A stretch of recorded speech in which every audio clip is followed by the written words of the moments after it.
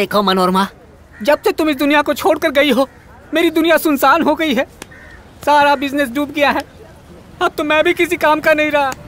अगर आगे भी ऐसे ही चलता रहा तो मेरे सर पर जितना कर्जा है टाइगर मैथ्यू ये बोट लेकर चला जाएगा। फिर मैं इस समुंदर में डूब जाऊँगा। कम से कम आज के दिन तो कोई कस्टमर दिखा दो। जीजा? जीजा? मुझे जीजा क्यों कहता तू? बहन के पति को जीजा नहीं कहेंगे तो और क्या कहेंगे? पूरी बस्ती का जीजा तू है। तू मुझे जीजा बोलेगा तो मेरी इज़्ज़त की वाट लग जाएगी। मुझे जीजा बोलकर बगल के बोट वाले ने छह बोटे खरीद ली हैं और अभी तक तू इज़्ज़त लेकर बैठा हुआ है और उस मैथ्यू के पास फंसा हुआ है। अरे इज़्ज़त क्या होती? पहले वो सीख ले जीजा। Hi mom. Hi Jackson Tiwari hi. Oh no no no no not this boat that boat okay thank okay you welcome अरे वो अच्छी फैमिली दिख रही है उसे अपने बोट में क्यों भेज? रहा है अरे मेरी बोट में भेज देना यार मेरी बोट से देखो अच्छी फैमिली दिख रही है। काली लड़की है और गोरा छोकरा है। मिक्स शादी हुई लगती है। हाँ शादी करने के बाद मिक्स होंगे ये। कब होंगे? हाँ रात को मिक्स करूँगा और सुबह ये मिक्सचर मैं अलग कर दूँगा। कमीना कहीं का। ये भी Tiwari. Seven thirty two nine o'clock bad time after nine same same puppy same okay okay done अच्छा सुन पाँच दिन के लिए अपनी ये बोट तू मुझको दे दे। पाँच दिन में कमा कर तेरी सारी उधारी में चुका दूँगा। सोच मत दे दे जीजा। अब ज़िंदगी में इज़्ज़त गंवाना भी सीखना पड़ेगा। एक पैसा भी नहीं दिया और ओनर वाली सीट पर आकर बैठ गया। दिखता नहीं है किधर गया वो। वहाँ पर खड़ा है। सर भी ढका हुआ है और आँखें भी ढकी हुई हैं। अपने चेहरे को भी दाढ़ी में ढक कर रखा हुआ है। पता नहीं कैसा आदमी है पूरा चेहरा ही ढक कर आया है। भाई साहब नमस्ते।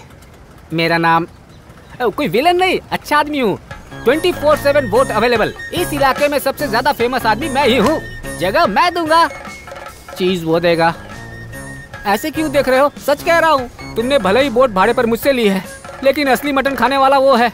चलिए बोट पर बैठकर बात करते हैं। Sorry sorry sorry sorry I am mistaken यही वो जगह है। यही वो जगह है। झील के उस पार फ़िल्म है, और उस फ़िल्म में स्क्रिप्ट लिखने वाले असिस्टेंट राइटर आप ही हैं। कैसे पहचान लिया ना? गिर गिर कर लिखा होगा तभी चोट लगी है। भाई साहब, फ़िक्र मत कीजिएगा। आप चाहेंगे तो बीच समुद्र में आपके लिए बोट खड़ी कर दूँगा मैं। आप अपनी पूरी स्टोरी लिख कर जाइएगा।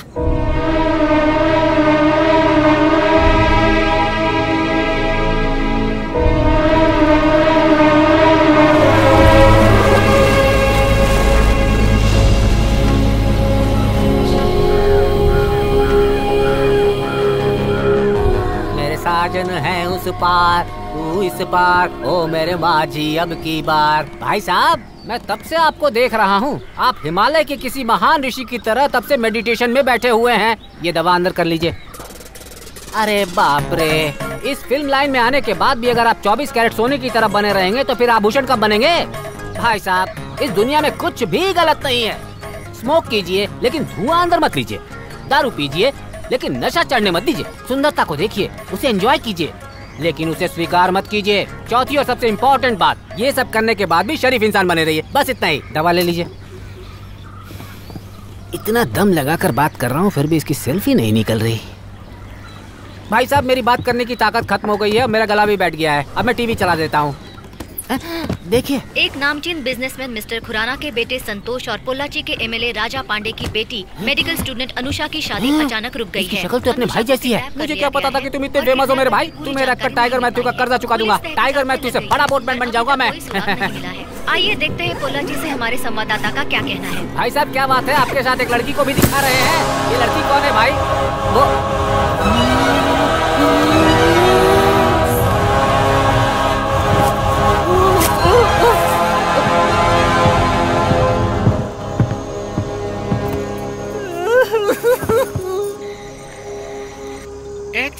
एमएलए राजा पांडे की बेटी को भगाने वाले के बारे में पता चल गया है। सूत्रों से जानकारी मिली है कि इसमें पुलिस डिपार्टमेंट के एसपी विघ्नेश्वरम के बेटे अनिल का हाथ है। अनिल मेडिकल स्टूडेंट, अनुषा से एक तरफा प्यार करता था। इस बीच अनुषा की शादी होने वाली थी, जिसे अनिल बर्दाश्त नहीं कर पाया और उसने अनुषा का किडनैप कर लिया। ताज़ा सूत्रों के मुताबिक पता चला है कि अनिल और अनुषा के परिवारों के बीच बहुत पुरानी दुश्मनी थी। अनिल अनुषा को एक तरफा प्यार करता था।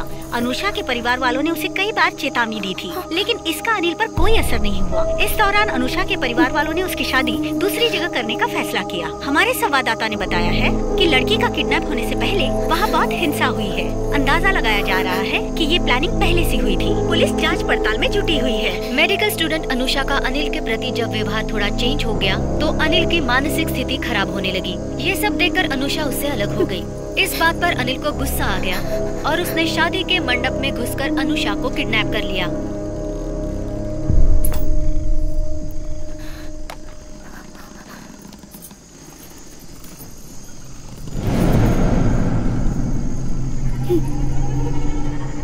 मैं कौन हूँ? तुम बताओ। अगर मेरे बारे में सब पता है तो बताओ। तुम मुझे बचपन से जानती आई हो। बताओ।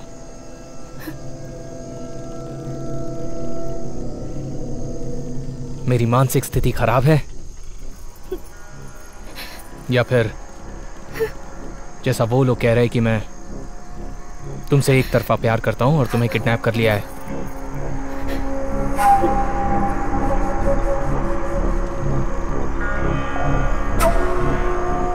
अनुषा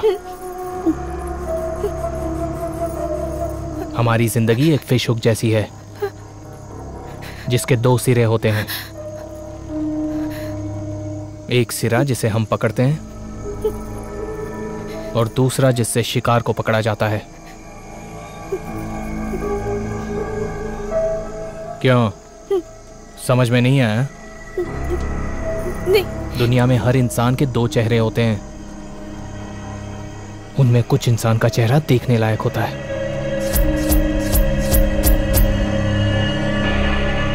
और कुछ चेहरे होते हैं जो देखने लायक नहीं होते।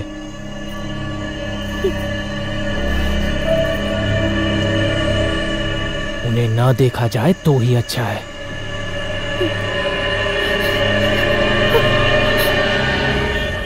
हाय फ्रेंड्स हमेशा की तरह इस साल भी अनाथ बच्चों के लिए हम मेडिकल कैंप रखने वाले हैं और किसी वीआईपी को हम चीफ गेस्ट के रूप में इनवाइट करेंगे। कुछ वीआईपी के नाम आप सजेस्ट कीजिए। उनमें से जो बेस्ट होगा उसे हम चीफ गेस्ट बनाएँगे। क्रिकेटर अश्विन। क्यों? वो बहुत देर तक खेलेगा क्या? अरे मैच के बारे में बोल रही थी। यार एक काम करते हैं जॉनी लीवर को बुला लेते हैं। हेलो अनिल मैं कॉलेज में हूँ। तुम्हें बाद में फ़ोन करूँ? अनु? सॉरी इट्स ओके मैं एक नाम सजेस्ट कर रहा हूँ वो ज़रूर ठीक रहेगा। वो अपने शहर में आ रहे हैं। अपने फ़ंक्शन में बुला लेंगे उन्हें। कौन है वो? Anna Hazare. As a chairman इस कॉलेज में सबसे ज़्यादा स्कैम तुम कर रहे हो। अगर वो यहाँ आ गए ना तो तुम्हारे खिलाफ फ़ंक्शन करने बैठ जाएँगे। तो तुम ही लोग कोई नाम बताओ ना। A actor Santosh? पिछले साल हम लोगों ने ट्राई किया था। उन्होंने कहा वो किसी फ़ंक्शन में नहीं जाते हैं। ए अगर उन्हें अप्रोच करने का तुम्हारा तरीका सही हुआ ना तो वो ज़रूर आएँगे। है ना? हाँ। वो कैसे? मैं कह रही हूँ ना अगर तू उसे बुला कर ले आई तो हम इसे निकाल कर तुझे चेयरमैन बना देंगे ठीक है ना? कोई चांस नहीं है। अगर तुम लोग वाकई उन्हें लेकर आ गए ना तो देखना मैं खुद ही ये पोस्ट छोड़ दूँगा। चैलेंज हाँ। हम्म एक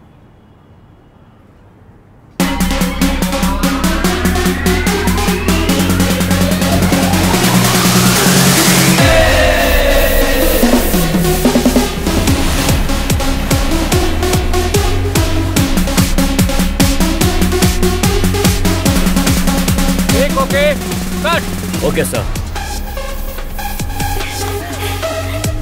costume change sir okay उन्होंने तो हमें देखा भी नहीं। बहुत मुश्किल है उनको मनाना। आप कैसे मिलेंगे उनसे? क्या करें?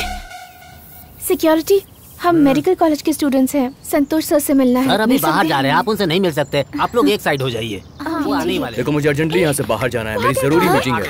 ठीक है। या या with 15 minutes I will be there sure so I am coming आप लोग साइड हो जाइए उनकी कार आने वाली है।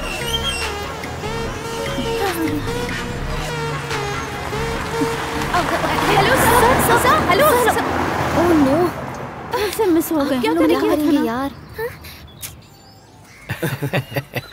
Thank you for everything twenty fifth को मैं आ जाऊँगा। uh, फिर हम शूटिंग प्लान कर सकते हैं। सर ठीक है सर ऐसा ही करेंगे। नमस्ते। चलता बाला कौन है ये लोग? कई दिनों से मेरा पीछा कर रहे हैं। लेकर आओ इन्हें। मैं देखता हूँ कौन। हम्म। Hello sir I am Anusha medical student वो क्या है कि कॉलेज में हम अनाथ बच्चों के लिए एक मेडिकल कैंप रखने की सोच रहे हैं।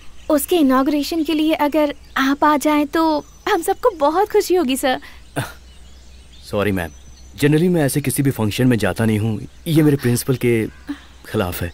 तो आप लोग किसी और को अप्रोच कर लीजिए प्लीज़ सर जानती हूँ लेकिन हमारे कैंप में जो अनाथ बच्चे आने वाले हैं अगर आपको वहाँ देखेंगे तो उन्हें बहुत खुशी होगी सर। सिर्फ़ इतना ही नहीं अगर आप आएँगे तो हमें बहुत ज़्यादा स्पॉन्सर्स मिलेंगे और इस तरह उन अनाथ बच्चों की हम ज़्यादा हेल्प कर सकेंगे।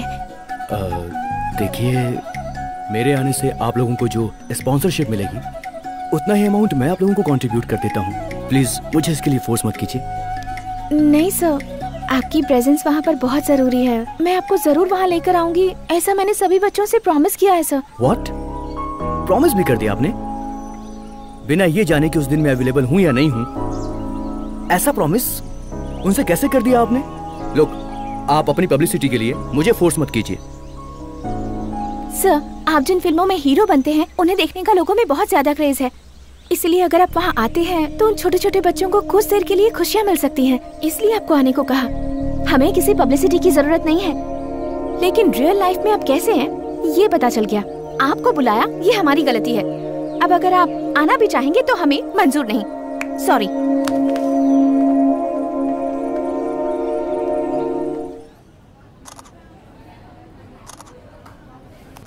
हे अनु हाँ?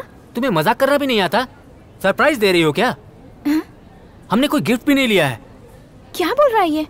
तुम आकर खुद देख लो। नमस्कार। हाँ, नमस्कार। नमस्ते सर। नमस्ते। नमस्ते। Sir. Hi. Hi.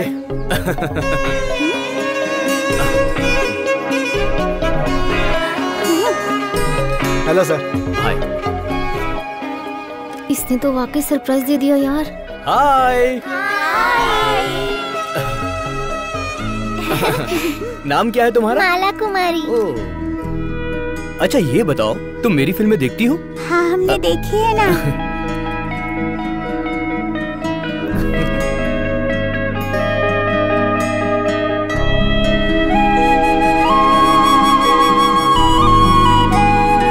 आप सभी लोग तो जानते ही हैं मैं किसी फ़ंक्शन में नहीं जाता। जब इस फ़ंक्शन के लिए मुझे बुलाया गया तो मैंने मना कर दिया था। लेकिन यहाँ आकर मुझे इस बात का एहसास हुआ। कि अगर मैं फ़ंक्शन में जाता हूँ तो इस बात का कितना असर पड़ता है। मेरा काम सिर्फ़ सिनेमा में एक्टिंग करना है। मैं आज तक सिर्फ़ यही समझ रहा था। लेकिन आज इन बच्चों की खुशी देखकर मुझे समझ में आ रहा है कि मेरा काम एक्टिंग से हटकर कुछ और भी है। मेरे यहाँ आने में जिसका सबसे बड़ा हाथ है, वो है स्टूडेंट अनुषा। और उनका मैं शुक्रिया अदा करता हूँ। Thank you thank you so much Anu आज मैं आप सबसे वादा करना चाहता हूँ कि ऐसे फ़ंक्शन में हमेशा अटेंड करूँगा और सबकी खुशी का हिस्सा बनूँगा it's really special to be here on this occasion and thank you so much for calling me here thank you thank you sir thank you sir thank you so much thank you sir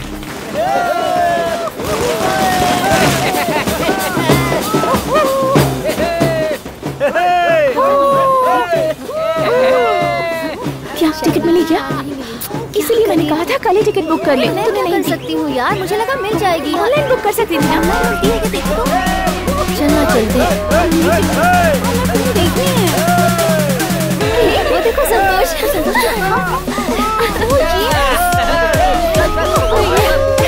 देखो आई गए खुद ही आ रहा है नमस्ते नमस्ते नमस्कार hello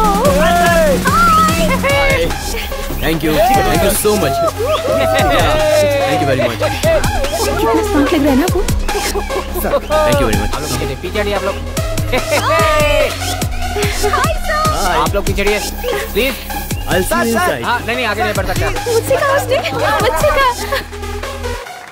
thank you thank you very much thank you sir thank you इसे रखूँ। हाय एक मिनट सर मैं भी हाँ, आता हूँ। हाय हाय हेलो सर हाय कैसी हैं आप? अच्छी हूँ। आप यहाँ मेरी फ़िल्म देखने आई हैं? हाँ बट वो हमें टिकट ही नहीं मिल रही। ओह ऐसी बात है? सर आपको बुला रहे हैं। हाँ मैं आता हूँ। मुझे भी जाना होगा। Okay okay I see you later अब हमें अगला शो तो देखना ही पड़ेगा। चलो कुछ और हॉल में जाकर देखते हैं। हाँ सही चलो ना। मुझे यकीन नहीं हो रहा कि उसने मुझसे बात की। सर ने ये टिकट आप लोगों के लिए भेजा है। देखकर बताइएगा कि कैसी लगी। Okay thank you madam thank you hello hello who is this medical student Anusha Anusha oh Anu hi हम अभी अभी आपकी फ़िल्म देख कर आए। It is very nice thank you so much thank you एक मिनट। मेरी फ्रेंड्स आपसे बात करना चाहती हैं। प्लीज़ कीजिए। या या श्योर फ़ोन उन्हें दीजिए।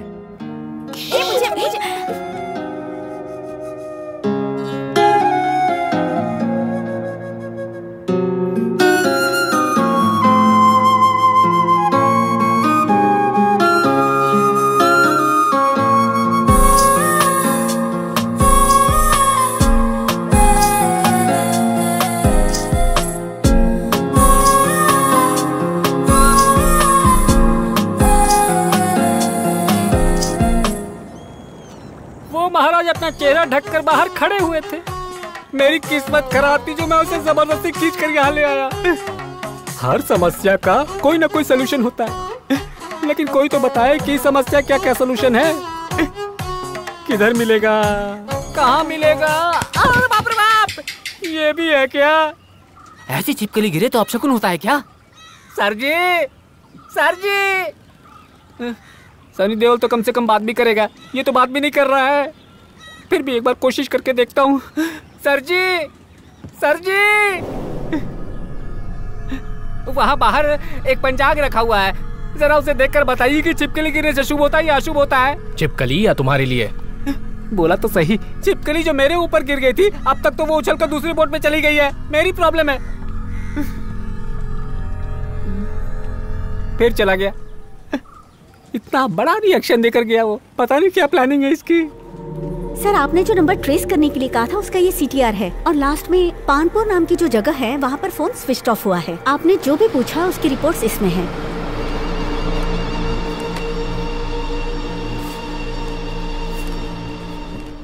Good morning sir sir good morning sir Anil के पापा हैं अंकल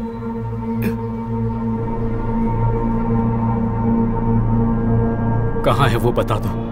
पुलिस के हाथ लग गया तो वो उसे नहीं छोड़ेंगे। वो उसके साथ कुछ भी कर सकते हैं।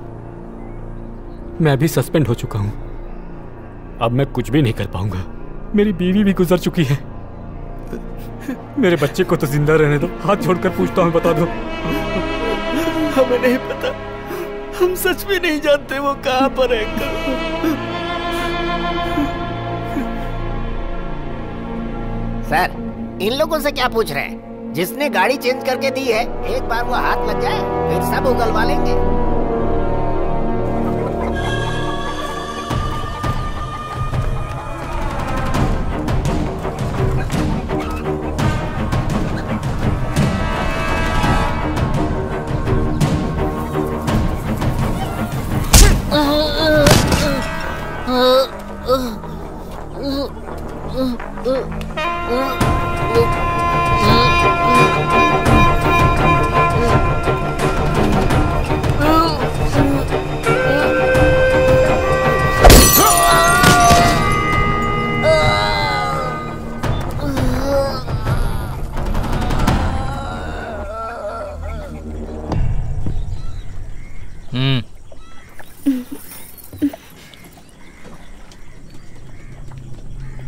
पी लो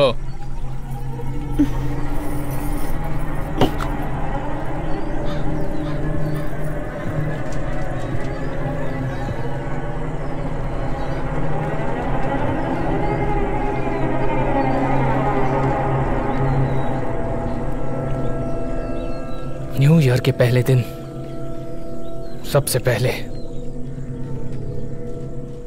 तुम्हारी आवाज़ सुनना चाहता था मैं। माँ पापा से बात करने का भी दिल नहीं किया उस दिन। मैंने तुमको फ़ोन लगाया। तुमने नहीं उठाया। तुमने जो किया वो गलत नहीं था क्या? वो सब कुछ। बोलना चाहिए था तुम्हें?